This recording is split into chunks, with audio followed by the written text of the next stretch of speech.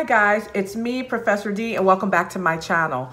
On this video, we're going to be covering everything PEDS, important PEDS concepts to know for your PEDS final, midterm, HESI, ATI, NCLEX. So I'm going to be covering important PEDS concepts, and there are too many concepts for me to cover in just one video. So I'm going to span it out over a couple of couple videos, okay? If you haven't done so already, you know what to do. If you want to support this channel, please be sure to like and more importantly to subscribe below um, go ahead put something in the comment section if there is a subject that you'd like to see me cover so without any further ado let's get to our first question number one a two-year-old child recently diagnosed with hemophilia A is discharged home.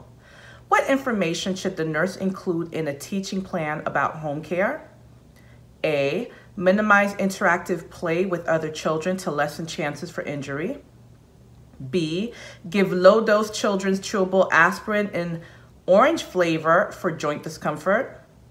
C. Use firm and dry toothbrush to clean teeth at least twice per day, or D, apply pressure and ice for bleeding while elevating and resting the extremity. If you're new to my channel, guys, I know I can I can go kind of fast. If you need to if you need it to be at a slower pace, excuse me, all you have to do is press the pause button. Go ahead, read the question, look at your choices, and when you're you think you know the answer, go ahead and press play, and I'll go over the answer and rationale. So for this question, the correct answer is D, apply pressure and ice for bleeding while elevating the extremity. So guys, hemophilia A, this is a bleeding disorder, right? Um, with hemophilia A, important things you guys have to know about this bleeding disorder. You have to know that it's X-linked, okay?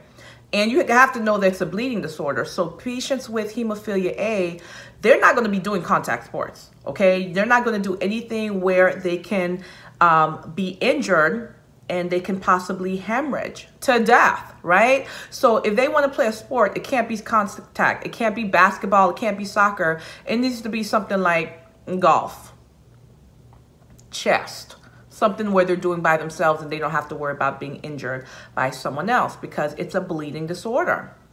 So D is the correct answer. You want to apply pressure. What does pressure do? pressure stops bleeding and of course ice and rest r-i-c-e rest ice compression that's the pressure and elevation all right so that's what you want to do for that patient who has hemophilia A. Let's go through the other choices because I also want you to know why the wrong answers are wrong. A, minimize interactive play with other children to lessen chances for injury. Well, guys, I say this all the time. In pediatrics, the work of the child is play. That's how they learn about their environment. That's how they learn social interaction. So you should not take that away from a child.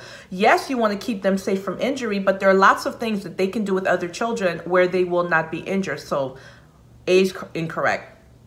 B, give low dose children's chewable aspirin. Absolutely not. What do you think that's going to do to that child with hemophilia? It's going to make the bleeding worse. No. C, you, oh, by the way, guys, it's a child, so we're not trying to give them aspirin anyway because we can give them what? Reye syndrome. So that's out of the um, equation. Then you have C, use a firm and dry toothbrush to clean their teeth at least twice a day. Cleaning their teeth twice a day, that's wonderful. But look at the first part of that answer. Using a firm and dry toothbrush? Uh, no. That's going to cause trauma to the gum line and the patient may what? Bleed. The problem is that they already have this bleeding disorder. We're not trying to make it uh, worse. So the correct answer is D. Next question. A two-year-old child with Down syndrome is brought to the clinic for his regular physical exam. The nurse knows that which problem is frequently associated with Down syndrome. A, congenital heart disease. B, fragile X chromosome. C, trisomy 13 or D, pyloric stenosis? And the correct answer is congenital heart disease. The most common complication of Down syndrome that um, of Down syndrome that children have is congenital heart disease. They're born with certain um, heart defects or anomalies. Now look at um, our other choices. You have B, fragile X chromosome. This is, that's actually a sex-linked abnormality. Then you have a C, trisomy 13. Down syndrome is actually the trisomy 21. So that one's wrong. And then you have pyloric stenosis. That's a GI disorder, has nothing to do with Down syndrome. So the correct answer is A. Next question. A two-year-old child diagnosed with GERD has developed a fear of eating. What instruction should the nurse include in the parent's teaching plan? A, other, excuse me, invite other children home to share meals. B, accept that he will eat when he's hungry. C, reward the child with a nap after eating. Or D, consistently follow a set mealtime routine. And I'll give you a moment to think of your answer.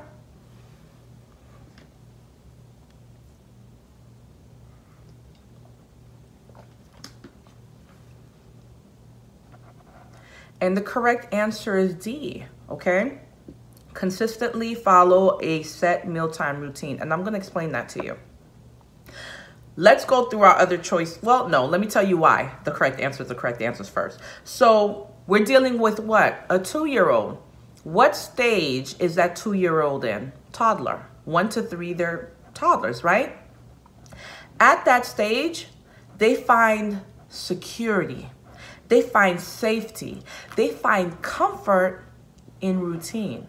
That's why if you go to a daycare center, you will see they do the same thing day in, day out. They follow the same routine. Why? At that age, that's what the children find comfort in. They freak out if you change their routine, even a little bit, okay? They find safety, security, comfort in having a set routine. So let's look at our other choices.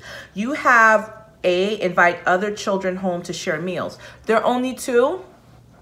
At two-year-old, at um, two year, years old, they don't find comfort in um, being with other children. Now, they don't mind parallel play. They'll play with their own toy next to another child playing with their own toy, but it's not interactive. They're not playing with each other. They don't find any joy, any comfort in that. Okay, so that's why A is incorrect because it's a two-year-old, right? They're still interested in parallel play. Then you have B, except that he will eat when he's hungry. Especially a toddler. If you wait to feed a toddler when they're hungry, they might starve to death. Why? Another thing about toddlers they're establishing their independence. You ever heard of the terrible twos? Everything is no, no, no. Anything you say to that child, they're saying no because they're establishing their independence. And sometimes they may be hungry, but because they want to establish their independence, they'll say no, right? So you don't wait until the toddler's hungry to feed them. They need to eat consistently at a consistent time and routinely.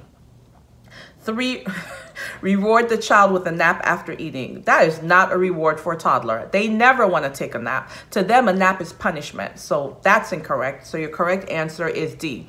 Consistently following a mealtime routine and a set routine, okay? Next question.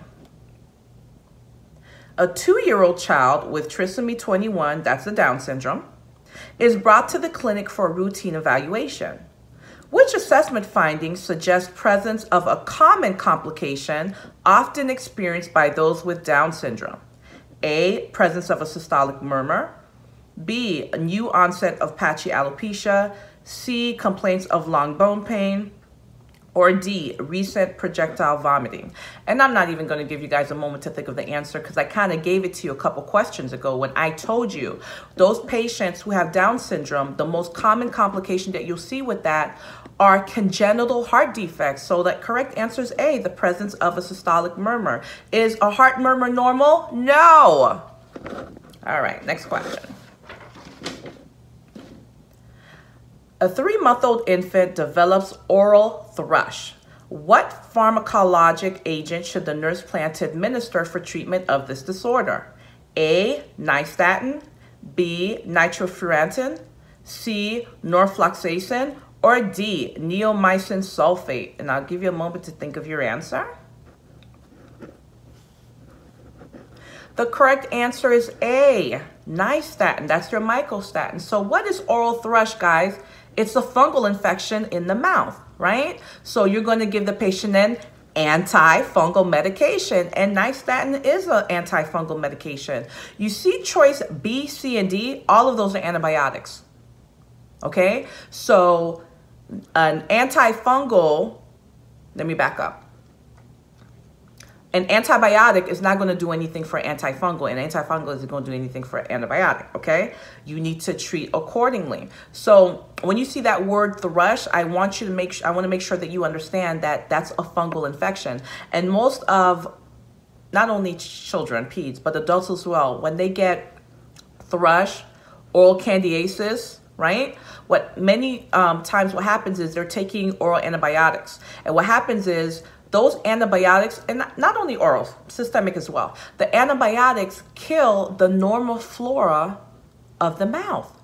And so when the normal flora of the mouth die, they're gone, it's a perfect breeding ground for fungus to grow. Okay, and that's when the patient develops the thrush, which is that white, patchy looking um, um, what's the word I'm looking for? Not sheet, but layer that you'll see around their mouth in the oral mucosa. So you're going to give them an antifungal agent for that.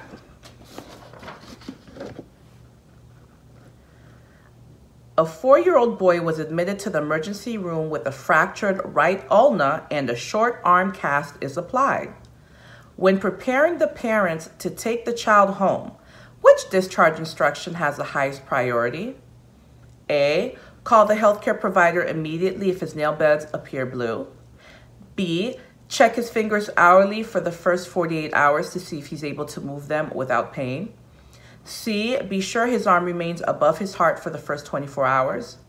D, take his temperature every four hours for the next two days and call if an elevation is noted. And I'll give you a moment to think of your answer.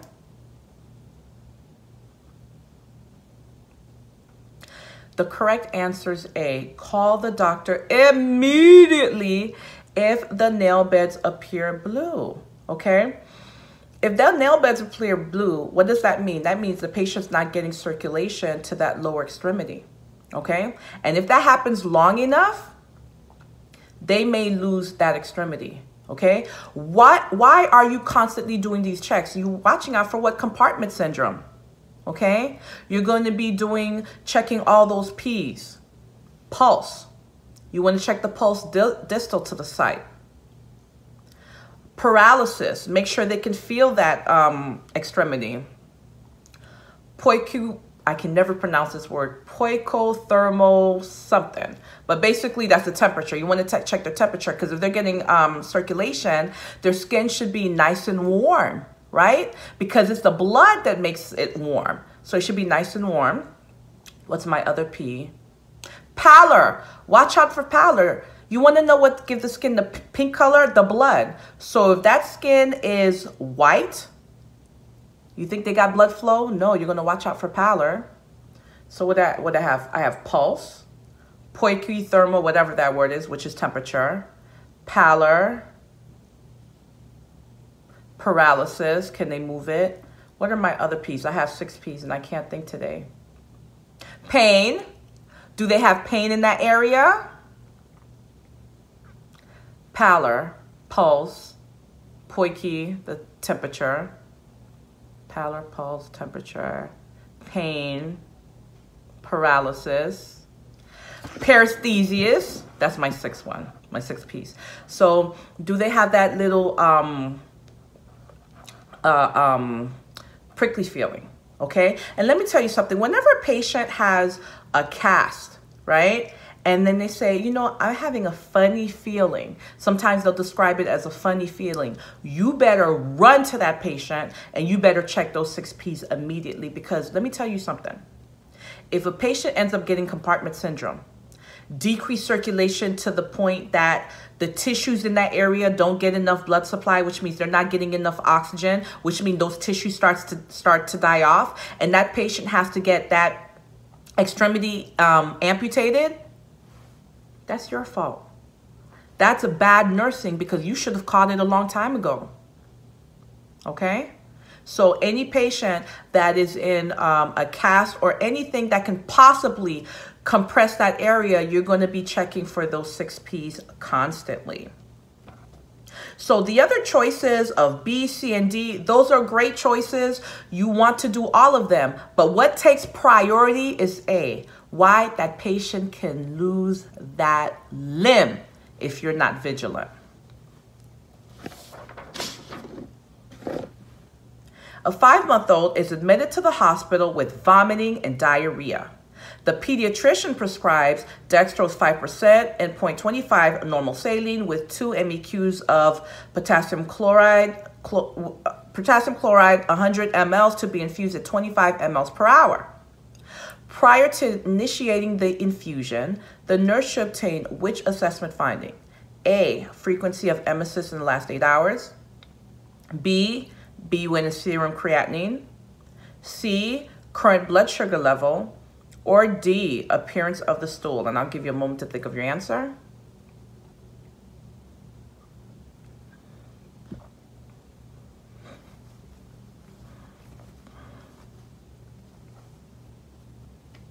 And the correct answer is B, BUN and creatinine levels. Now, guys, they threw all those numbers in there just to make you nervous, to get you scared. Guess what? All we cared about was that patient was getting potassium. Let me make this clear whether if it's a child or an adult, anybody, if they're getting potassium, before you give that potassium, you better check that BUN and creatinine. Why? Potassium has such a narrow therapeutic range, 3.5 to 5. That's it. Okay? Anything outside of that range can put the patient at risk for dysrhythmias. Okay? So imagine the doctor orders potassium.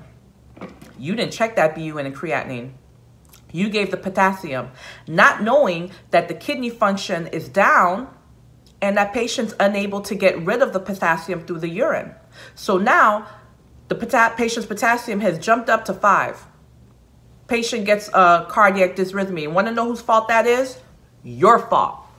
Your license is at risk. Why? You should have checked that BUN and creatinine. You do not give potassium until you make sure that that BUN and creatinine is within normal range. Because if that BUN and creatinine is up, that lets you know that the kidney function is down. That means you do not give the potassium and you make a phone call to the provider. You say, hey, I notice you want me to give potassium, but this is the patient's BUN and creatinine. Are you sure you still want me to give it? And if the doctor says yes, you tell them come give it themselves because you are not losing your license. And let me tell you something. When you know your stuff the way you're supposed to know your stuff, you can be bold that way. And the healthcare providers, the other nurses, they respect you because you know your stuff. Okay, when you know your stuff, you won't be, be afraid to call the doctor. All right, potassium, you better check the BUN and creatinine, and it better be within normal range before you give it. Don't say I didn't warn you. Okay, next question. A six-month-old infant is admitted to the PACU with elbow restraints in place. He has an endotracheal tube and is ventilator dependent, but will be extubated soon following recovery from anesthesia. Which nursing intervention should be included in the child's plan of care? A. Keep restraints on at all times to prevent unplanned extubation. B, remove restraints one at a time and provide range of motion exercises. C, remove all restraints simultaneously and provide play activities. D, document the reason for application of the restraints every 72 hours.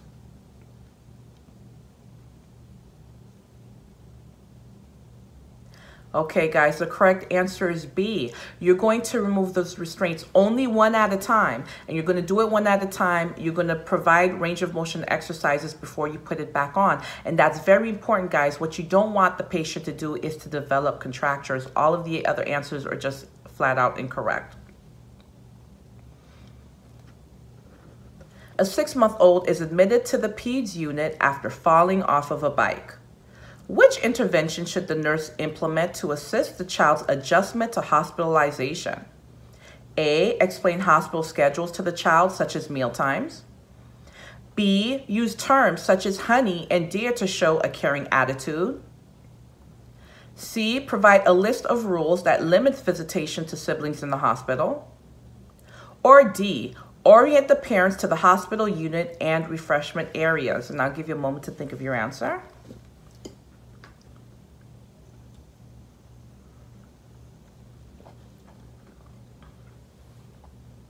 So the correct answer is A, guys. You want to explain hospital schedules to the child, such as meal times. Look at the age. Six is considered what? A school age child, right? And just like um, set routines was comforting to the toddler, explanations is comforting to the school age child. So what you're going to do, preferably if you can, before that child is, let me go back to the question. Okay, so before, um, if you can, if it's possible, you give them an orientation. You tell the child what to expect, things they might see, things they might hear, things they might, might smell. Okay, you're going to keep it in very concrete terms because they're only six years old. But the school age child is learning, and just the fact that they know what to expect, that into, they know what to anticipate, it decreases their anxiety okay? That is comforting to them. It gives them a sense of security. So it's very important when you guys get these PEDS questions, the age is very important because the age lets you know what level their cognition is on, okay? Look, let's go over the other choices so I can explain to you why they're wrong. You have B use terms such as honey and dear. You do not use those terms for patients. I don't care if it's peds or adult. You never call them honey or dear or sweetheart or mama or boo. No. If it's an adult, you call them by Mr. or Mrs. unless they give you permission to call them by their first name. And if it's a child, you call them by their first name, but you do not call them by those uh, familiarities. Uh, what was choice C? Provide a list of rules, guess what that's going to do? That's going to increase their anxiety. That's going to make them more fearful and nervous. And choice D, orient the parents to the hospital unit. That's wonderful. That is wonderful. But guess what? If you had to choose between orienting the parents and explaining things to that child that's school age, what are you going to choose? That child, that is your patient okay? Reorienting those patients that uh, orienting the parents that comes secondary to your patient. You're going to orient your patient because they're old enough to really understand what you're telling them in very concrete terms. They're not going to go in very detail and get technical because if you do that then you're going to make them scared. Then you're going to make them nervous. But just giving them the basics that's actually going to um, relieve their anxiety okay Next question. A seven-month-old infant with rotavirus causing severe dehydration is admitted for treatment. Which intervention should the nurse implement first? A. Obtain a scale to weigh the infant's diapers. B. Instruct the mother to offer Pedialyte regularly. C. Insert IV line and begin IV fluids. Or D. Obtain a stool specimen for analysis. And I'll give you a moment to think of your answer.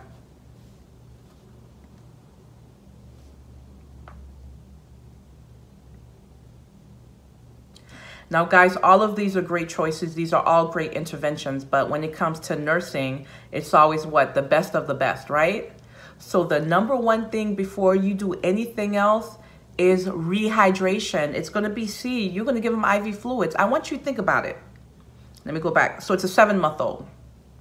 This is an infant. You know how tiny their bodies are? The smaller that the patient is, the more at risk they are for dehydration right? As adults, our body will compensate. So we can go into dehydration, but it takes a lot more for us to go into dehydration. But in peds, the smaller they are, the faster that they'll bottom out on you, the faster that they'll go into dehydration. You don't have that much time to correct the issue. So this patient who it says they have rotavirus. So the minute you saw rotavirus, you should have been thinking of diarrhea. And then they backed it up. If you didn't catch it by the rotavirus, Look at what they said. They didn't only say diarrhea. They said what? Severe diarrhea. What did I tell you about that word severe? Didn't I tell you when you see that word severe, you're like, this is important, right? Because anything severe is going to affect their physiologic integrity. So severe diarrhea, what are we worried about? Dehydration. They're losing all their fluids. Which way they're losing their fluids? Out the butt, but they're still losing it, right? So the first thing you want to do is rehydrate the patient. So A, B, C, D, all of them great um, choices. But the first thing you care about is correcting the problem. And that's by rehydration, rehydrating the patient. Next question.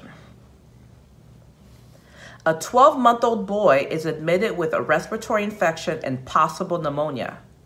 He's placed in a mist tent with oxygen. Which nursing intervention has the greatest priority for this infant?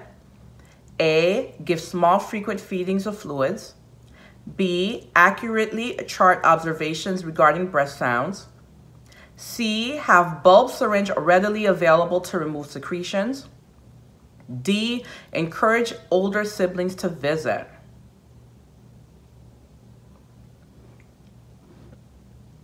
And guys, again, all of these choices are great choices. All of these choices are nursing interventions that you're going to do for your patient. But what's most important? What takes priority? What's critical? And it's C, because who cares about anything else if your patient's not breathing? What's going on with our patient? They have a respiratory infection. That's infection in the lungs, possible pneumonia. So you better make sure you have something to remove those secretions because if that patient can't breathe, does any of our other interventions matter? None of them matter. Airway, airway, airway, okay? So although um, A, B, C, and D are all nursing interventions that we're going to do. The very first one that takes priority is airway, making sure that they have a clear airway so that they can breathe.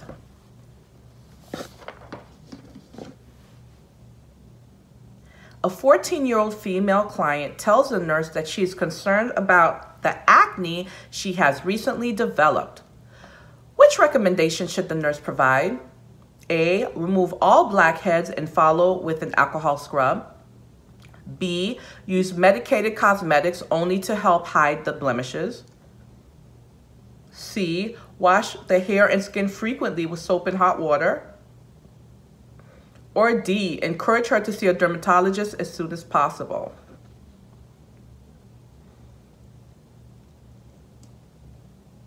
And the correct answer is C, wash hair and skin frequently with soap and hot water. Why? Because you're making sure that there's no um, oil on that skin that will do what? Clog the pores. When the pores are clogged, what happens? You get pimples right? So that's what you're going to teach the patient. That's important. And the reason not only skin, but also the hair, because you have, um, what's the word I'm looking for? The sebaceous glands, right? So you have oil that is produced not only on the skin, but on your scalp as well. And guess what it does? It's easy for it come down to the face. So you're gonna teach them to make sure they wash their hair and the face to make sure that those uh, pores don't get clogged so they don't get acne or the acne doesn't worsen. So let's look at our other choices. Look at A. Remove all blackheads and follow with an alcohol scrub. That is too traumatic to the skin. That's too harsh okay? That's too harsh to the skin. It could cause trauma. And guess what? That trauma may cause a secondary infection on the patient's skin. So you're not going to do that. See, use, look how they tried to trick you. They put that word medicated. We don't care if it's medicated or not. Guess what cosmetics do? They cl um, clog the pores which cause what? Acne. So I don't care if they put that word Medicaid in front of it. If it's a cosmetic, it's going to clog the pores. So you're never going to suggest to the patient who's complaining about pimples, acne, to go ahead and put cosmetics to cover up the problem. And then you have choice D, encourage her to see a dermatologist. First of all, that referral is going to come from the doctor. After the doctors tried everything, the doctor's going to be the one to say, okay, you need to see this specialist. You need to see that specialist, not you, the nurse. Okay? And we are down to our last question. A 15-year-old girl tells the school nurse that all of her friends have started their periods and she feels abnormal because she has not. Which response is best for the nurse to provide? A, refer the adolescent to the healthcare provider for a pregnancy screen. B, schedule a conference with her parents to recommend hormone therapy. C, explain that menarche varies and occurs between the ages of 12 and 18. Or D, suggest that she use diversions to help her not worry, worry about delayed menarche. And the correct answer is C. You know, girls usually get their periods between 12 and 18, so you let um, that patient know that, okay? You have to educate them. Let's look at our other choices, guys. A, refer the adolescent to the healthcare provider for a pregnancy screen. How's she going to be pregnant and she's never had her period before? We're getting rid of that question. B, schedule a conference with her parents to recommend hormone therapy. Guess what? You wouldn't be the one recommending that. The physician would. Okay? Number one, the physician would be recommending that. And number two, that's not even necessary because that child is still within that window period for her to get her period. And then D, do we ever tell patients not to worry? Never. You never tell patients, don't worry. You never say to patients, what made you? You never ask patients why. Those are huge no-nos. Okay, you address their issue. You don't tell them not to worry about it. You address it. Okay, and so that's why C is the correct answer because you're empowering that patient with the education that they need. Guys, I hope this was helpful. I promise I have at least three more videos I'm going to be sending your way on peds and I'm also going to be uh, sending you guys some OB videos, um, maternity videos as well. I hope uh, this was helpful to you. Again, guys, to support this channel, please don't forget to give this video a thumbs up and make sure you subscribe. Share this video with any friends, any classmates that you know would benefit from these videos. Thank you so much for joining me, and I'll see you guys next time.